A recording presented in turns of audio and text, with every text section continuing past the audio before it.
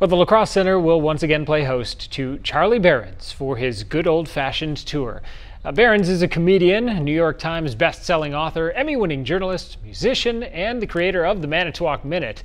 Uh, the Wisconsin native creates weekly content for his various social platforms and has more than 7.5 million followers.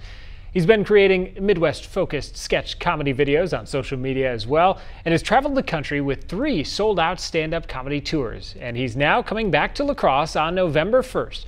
Uh, doors open at 7 o'clock for the show that begins at 8. Tickets go on sale at 10 o'clock this Friday, April 12th.